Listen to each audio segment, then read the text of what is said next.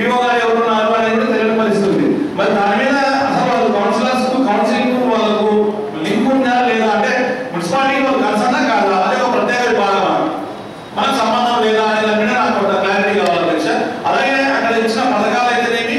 ఈ street vendors సంబంధించి loan ఇస్తారని ఒక బయట ఒక మరి ప్రజలు అందరూ ఒక బాగా తెలిసిన ప్రజలందరికీ కూడా. వెండర్స్కి ఇస్తారని చెప్పి. మరి వెండర్స్ స్ట్రీట్ వెండర్స్ అందరికీ